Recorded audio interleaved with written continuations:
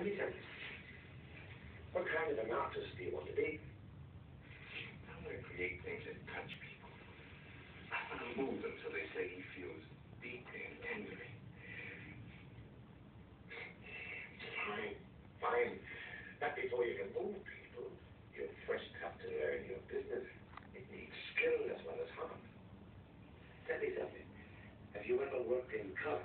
No, Well, you've got to start right away in watercolors and oil. It will help your drawing. I don't know the first thing about color. I'll teach you. We'll work together here. Cousin Mauve. Eliminate when I'm less tired.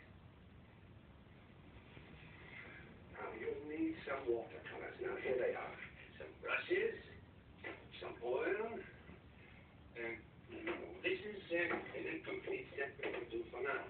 There's a palette, palette knife, oil, turpentine, and a handtag of these, and now to improve your drawing, you'll need to use cut. Now let me see. Yes.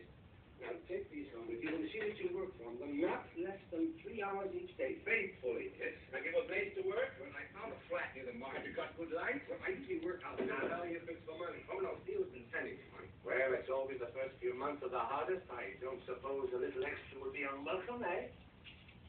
Here's a mover. That will help you set yourself up. I can't tell you how Mr. Paul, now come back next week. Let me see what you've done. Well, please forgive me for barging in when you say